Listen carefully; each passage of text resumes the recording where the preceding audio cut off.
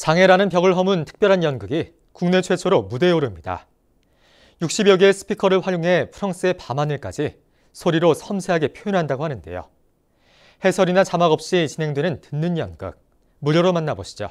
한선지 기자가 소개합니다.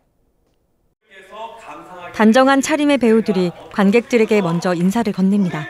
총 9명이 여러분들을 만날 준비를 하고 있습니다. 무대엔 피아노와 바이올린, 첼로뿐 아니라 소품을 활용해 연주하는 폴리 아티스트도 함께 올랐습니다.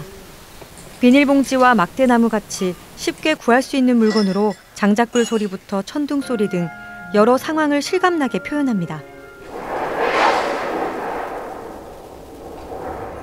특별히 눈으로 보는 차원을 넘어 듣는 연극으로 꾸며진 알퐁스 도데의 별.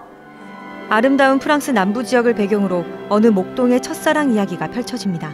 세 개의 별이 세 마리의 짐승이고 그 별과 마주하여 아주 작은 것이 마구자입니다. 떨어질 듯 빛나는 별과 스치는 바람 소리. 극장 천장과 벽을 둘러싼 60여 개 스피커로 사방에서 생동감 가득한 효과음이 전해집니다. 덕분에 관객들은 해설 없이도 동화 속 한 장면이 감은 눈앞에 그려집니다. 보는 연극의 한계를 느낀 시각장애인을 위한 새로운 시도입니다. 대사라든지 이런 부분만 듣게 되면 드라마에서 볼 때 감정 연기나 표정 연기를 볼 수가 없잖아요. 근데 그런 부분들을 저희는 소리로 상황을 설명해 주기 때문에 아마도 들으면서도 해설 없이 보면서도 충분히 이해가 되지 않을까 싶고요. 이번 공연은 경기도 문화의 날에 맞춰 11월 30일 무료로 관람할 수 있고 경기도 문화의 전당 홈페이지에서 예약하면 됩니다.